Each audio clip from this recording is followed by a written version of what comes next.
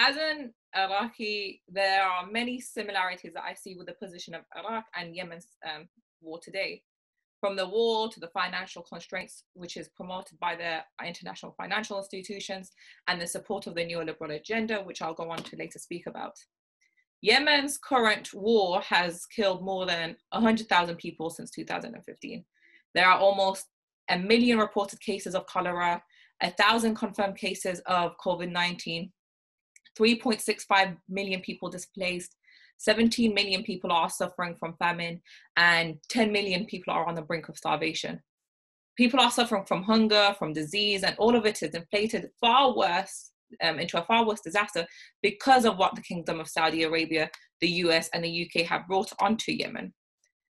Almost five years since Saudi's bombing campaigns, the land, the air, and the sea blockade, which has been responsible for, most people in the UK aren't particularly aware of it.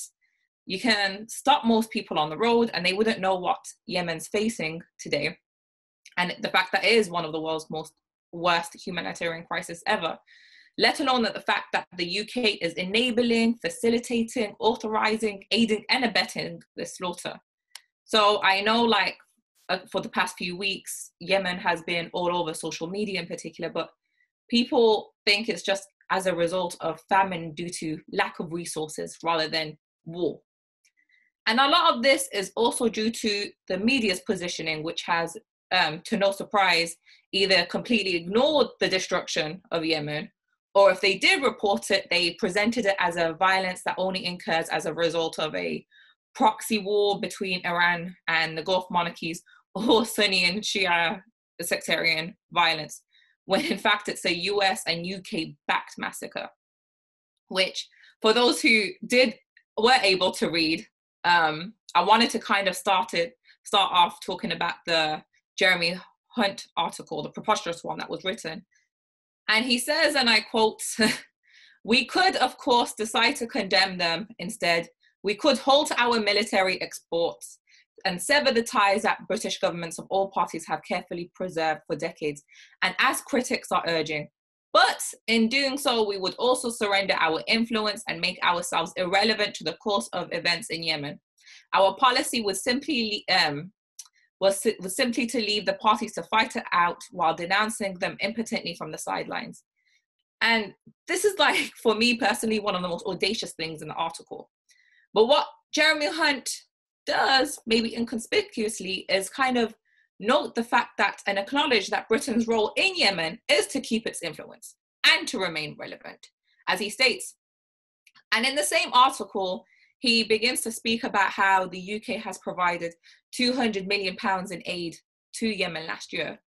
And I really want everyone to listen to this particular um, like number because whilst Britain tries to pretend it has this almost benevolent role in Yemen, it's quite laughable because while it has provided 200 million um, pounds in aid to Yemen, this is just a drop in the ocean to its arms sales to Saudi Arabia, right? Since 2015, the UK has sold 6.4 billion pounds in arms to Saudi Arabia.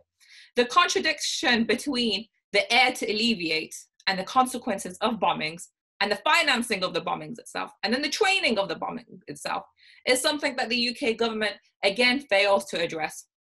And ergo, we go through this horrifying cycle of abuses despite the UK government stance, and it does not make us any safer.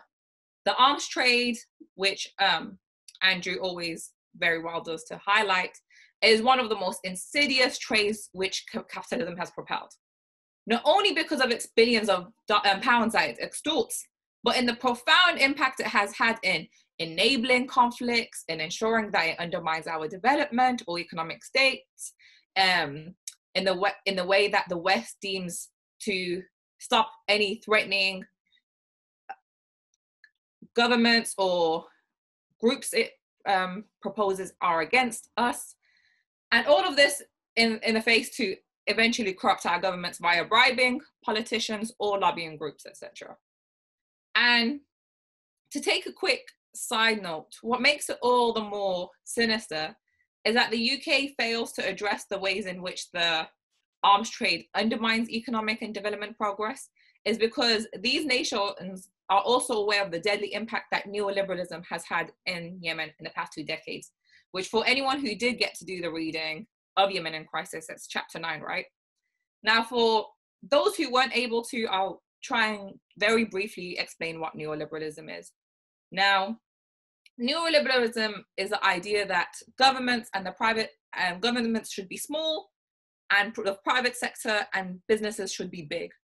So the government should allow businesses and their private sector to not pay their correct contributions in tax, not be regulated by law on how it fulfills its businesses, and services such as healthcare or education should be left to the private sector. Now, the problem with this is that it doesn't work.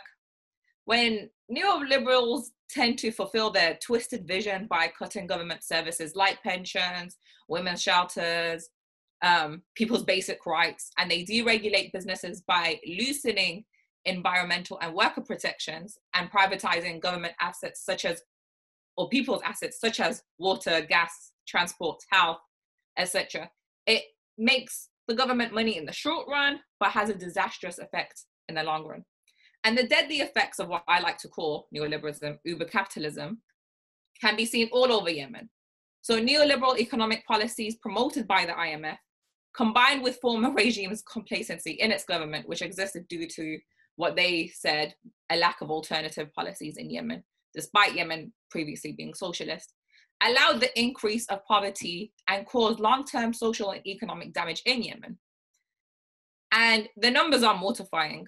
So, right now, about 70% of the youth are either unemployed or not employed and not in education, um, which many observers actually say this is an underestimation of the youth unemployment at the time. Only 8% of labor vo- the force had any kind of university degree to begin with, and 17% are illiterate, including a substantial number of younger workers or child workers, etc. And about 33% are said to be barely literate or had only completed a primary school education. And only a 20% got to fulfill a secondary or equivalent certificate. Now, these statistics are striking to any society that dreams of rebuilding after war. Now, when you intertwine neoliberalism as an economic policy with war, you see the result it hands out. And it's no secret that um, it creates many polit- politicians a chance to make exuberant, exuberant amounts of wealth because of the ties that these politicians have to these companies. For example, when we go back to the 2003 occupation of Iraq, Dick Cheney's wealth went through the roof because of his shares in Halliburton. He made Halliburton billions of dollars on the bodies of dead Iraqis. So for the UK government, this, this blueprint for chaos, war, and thousands of Yemenis dead is also a blueprint for profit, billions and billions worth of profit, which again makes the Jeremy Hunt article completely laughable because for him to say that the war would have happened regardless of Britain's role in, when the former Ministry of Defense and Mandarin and Defense for attache to Saudi Arabia and Yemen himself said the Saudi bosses absolutely depend on BAE systems and they couldn't do it without us. Now, again, this is really important because this came from an employee of the Ministry of Defense. So to act as if the UK's role is very small or everything in Yemen would have continued to take place if the UK decided to stop arming Yemen, it's absurd. Even employees of the BAE systems have formally said that if we stop making the weapons, there wouldn't be anything pretty soon. So the UK can also pretend to feign ignorance regarding where Saudi airstrikes are going to. And I spoke about this a couple weeks ago in the panel, um, but I just wanted to highlight a couple things this time around, just so we know that this umbilical relationship that the UK has with Saudi Arabia during this war cannot be whitewashed because it's also an umbilical relationship to Saudi Arabia's deadly crimes. So First, I think it's important to note that the United Nations itself wrote a report that said the Kingdom of Saudi Arabia has targeted civilians in a widespread and systematic matter, manner. This is not short of just hitting schools, weddings, funerals, and even camps where displaced people decided to reside because they wanted to flee the bombs in the cities. But they have also targeted hospitals, And this is despite Saudi Arabia having the coordinates, um, coordinations of where the hospitals are, which is again a breach of international humanitarian law. So it's interesting because when Sienna started the meeting, she she usually asks people, "Where are you from?" And some of the cities and towns people gave are actually where these deadly weapons are being manufactured. So whether it's Raytheon manufacturers in Harlow, BMDA manufacturers in Lowestoft, Rolls-Royce manufacturers in Bristol, yes, they don't only just make cars. Um, Chemring manufacturers in Draycott, Saywell in Woking, Selex in Luton, all over the UK, we create these deadly weapons that are implicit in this war. But most importantly, I want to draw attention to BAE Systems and perhaps the company that has made the most amount of wealth due to giant aircraft deals. Yemen BAE manufactured um, Typhoon and Tornado aircraft, which Saudi Arabia has largely used in its war. And their contract was finalized around 2014, where 72 Eurofighter Typhoon aircraft, aircraft were agreed upon for 4.5 billion. And then the UK directly licensed a further 120 BAE produced tornado jets. And it was Tony Blair himself, which was implicit in stopping any investigations to exploring or questioning the legality of these weapons being sold, etc. And then in 2013 to 2016, more billions of dollars were agreed upon to contract a further 22 Hawk aircrafts at the time. Now, once these weapons are manufactured in Britain and then sold to Britain uh, and then sold to Saudi Arabia, pardon me, it's important to understand that Britain's involvement doesn't stop there. The Saudi military does not have a single clue on how to use the weaponry and lacks the particular expertise. So then further contracts are drawn for more billions of pounds for the UK to help train Saudi on how to use these weapons. And then they are also the ones that are um, responsible for giving the coordinations and providing logistics and um, private help and ensuring that um, Saudi Arabia knows where to target, etc. Thus, the UK arms sales to Saudi Arabia has enabled the regime's abuse of human rights and repression of calls for democracy in its own nations, but it has also enabled its military ag- aggression across the region. And it's a bit ironic because its mission, if anything, has failed astronomically because the planes that were that are there to defeat the Houthi rebels as intended didn't do that. Instead, it's just bolstered the support for these Houthis. Now, I I think it's also important to mention America's role in all of this because it also plays an awful role. Like Britain, it provides logistics for the attacks, but the US is also a bit more insidious in the fact that it's US planes which fly over Yemen waiting to refuel Saudi fighter jets in the air so it can attack Yemenis. Now, we have to really understand how sick and twisted that is, firstly. And what's really ironic is people often try to juxtapose Obama's administration to Trump's one to make the former look a bit more morally righteous. So, for those who don't know, in the remaining days of Obama's presidency, he had halted some arms sales to Saudi Arabia. But he also agreed to fuel Saudi Arabia's bombs in the sky while continuing to do so and continue to sell other airdrop munitions. But this was done under the guise that he believed that civilians were being targeted and it was no more just. But he only did this in the last few weeks of his presidency. So it's almost a means to appease and whitewash his attempts or former crimes as president, etc. And a lot of liberal media tries to then play Trump as this more evil role because as soon as he was instated into presidency, he continued to sell all the terrible bombs and um, removed any ban that was previously in place. But both presidencies were complicit, regardless of whether they were Democrats or regardless of whether they were Republican. And Trump has such a friendly relationship with the Kingdom of Saudi Arabia that he had chosen Saudi Arabia as his first international destination as president. And to seal the deal with a kiss, I suppose, they ended it with a signature of over $300 billion over the next 10 year period for the US to help Saudi Arabia to boost its defensive capabilities. So, to expect, I guess, the US take a more of a humanitarian stand regarding the Yemeni people would be an act of naivety. The US continues to provide um, targeting advice in its operation rooms, like the UK, provides weapons, intelligence, and trainings to its members, like the UK. The US Air Force has played an active part, um, participation in airstrikes, including airstrikes which have killed civilians and destroyed civilian facilities itself, etc. So no brushstroke over Obama's presidency and no brushstroke over Trump's presidency can be seen as anything less than lethal. In the same manner that we cannot see anything that Boris Johnson has done as anything less than lethal, or Tony Blair's Labour when it decided to completely stop the investigation taking place. So the internationalization of this war in particular has made it almost impossible for peace to ever be a possibility. And to see a rapid end to this war, almost close to impossible. So we must ensure that what we make imperative is that the US, the UK, and other Western states stop arming the genocidal state of Saudi Arabia.